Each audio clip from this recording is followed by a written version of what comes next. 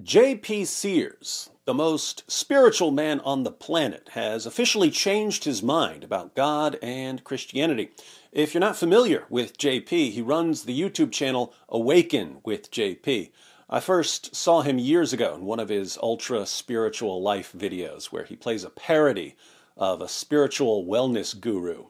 I'm JP Sears. I'm ultra spiritual. And I'm going to teach you how to be ultra spiritual today. The reason why I like to do yoga photo shoots is it's probably the most effective way for me to bring love and light into the world. Have you accepted organic food into your life? What? I've been having life changing results since I learned how to get offended. I love using essential oils as alternative remedies for common ailments like colds and the flu, instead of using remedies that actually work. Back then, I couldn't tell what he really believed because he was playing a character. But it turns out that JP was, or maybe still is, a wellness guru, a spiritual life coach. That's how he started on YouTube. He was making self help and wellness videos. But he eventually posted some videos that were making fun of ultra spiritual people who go overboard and become judgmental and condescending toward anyone who isn't as ultra spiritual as they are. And those videos took off, so he stuck with that approach. More recently, JP was making videos about lockdowns and mandates, so he seemed like a comedic, conservative, cultural commentator.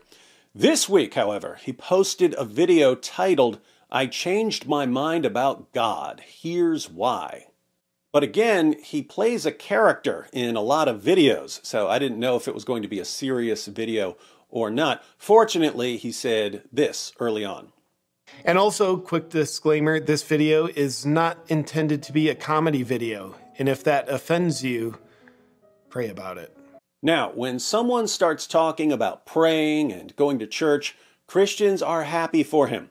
But we don't run around like the Dawa gangs pretending that someone converting or saying something nice about our religion is some kind of proof that our religion is true. When the Dawa gangs get a convert, they shout from the rooftops, You see, so and so converted. This is the proof. It's the proof that our religion is true.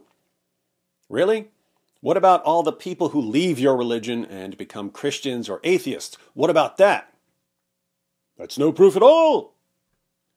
Fact is, people change their minds all the time. People changing their minds doesn't prove much. So, I'm not terribly interested in commenting on the mere fact that someone changed his mind about God and Christianity. But I am interested in a person's reasons for changing his mind. When someone explains why he changed his mind, we can ask two important questions. One, are they good reasons? And two, are they reasons that could be shared by other people? And as I watched JP's video, I was thinking, this is something that a lot of people are about to go through.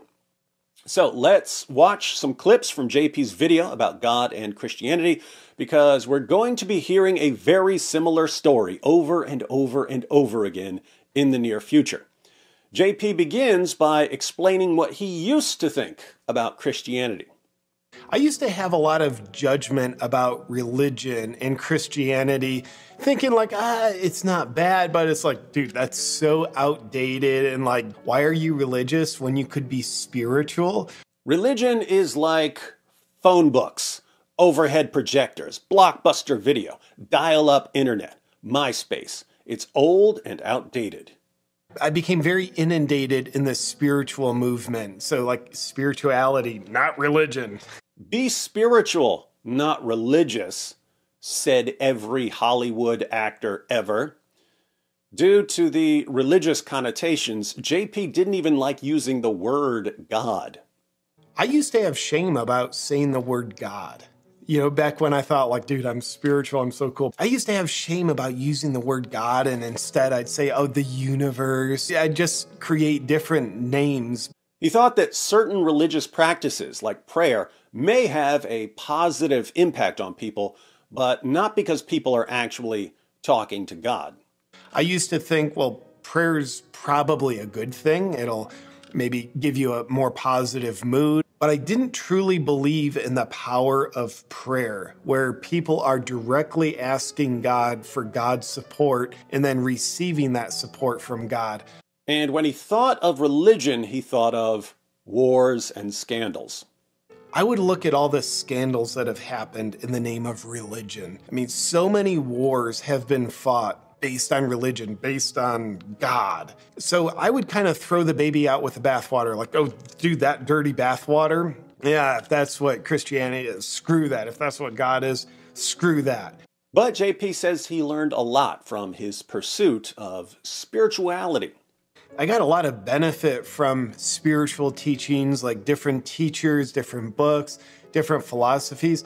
Obviously, if you want to be on the cutting edge of spiritual awesomeness, you don't want anything to do with that old VHS cassette we call Christianity. But when I look back, I can see I was excluding some amazing traditional Christian values, beliefs of God, and ways of connecting with God that I now really value. No school like the old school, am I right? So, what happened, JP? Over the past three years, I've found myself accidentally getting more Christian. Like without even intentionally trying, like setting out on a mission, like I want to become more Christian. It's just been effortlessly happening for me. He's been adopting more Christian values and beliefs and practices over the past few years without intending to do so. And he noticed that he's not alone. Now, I don't think I'm unique there because I've seen a lot of people and I've heard a lot of people telling me similar stories. Which raises an obvious question. So I asked the question why are people getting more Christian without even trying. Is it because of that Jesus Revolution movie? Here's what I believe to be true about that the presence of evil and Satan that evil emanates from has never been more obvious. True. Evil all around. Evil isn't hiding anymore. It's coming at us through authoritarianism, movements, people, groups, companies, governments. Yes, lots of evil. What's your point?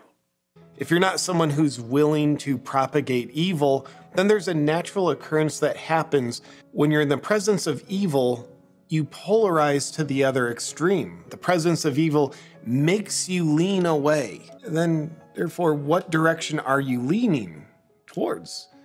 Well, that would be the direction of God. Seeing the presence of evil, that's why I've just accidentally been getting more Christian, why so many other people are.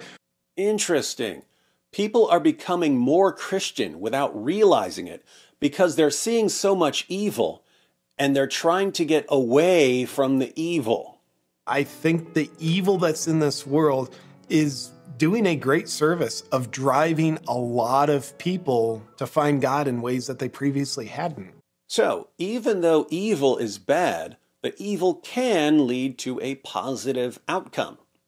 And also, specifically, we could say, hey, there is an attempt to bring communism all over the world. Sounds like someone doesn't like communism.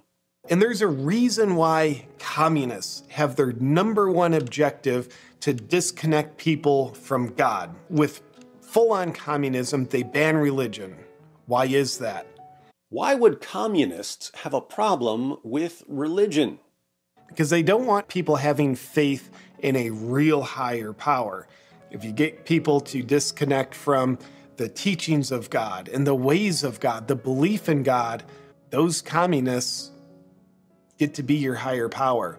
Indeed. As Francis Schaeffer once put it, no totalitarian authority nor authoritarian state can tolerate those who have an absolute by which to judge that state and its actions. An authoritarian state can't tolerate a higher authority than the state. So those who want an authoritarian state have to destroy belief in a higher authority. All right, JP is reacting to evil in its various forms. Where's he at now? I now look at traditional Christian values with a lot of respect and reverence, and I'm integrating those more into my life. Christian values around family first, Christian values around faith in God. And I now believe that the power of prayer is the most important thing you and I can do. I will make no claims that I'm the world's best Christian or most devoted Christian, but I'm looking at these Christian values and they make way more sense to me now than they previously did. What about your problem saying the word God, JP?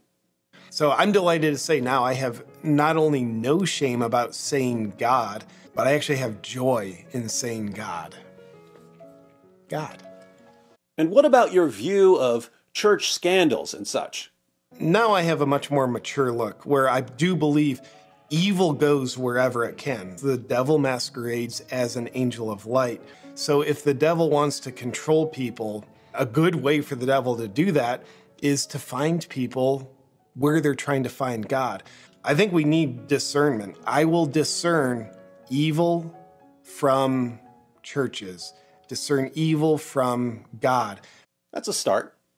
And get this right now, I think we're at a time of spiritual warfare. You think?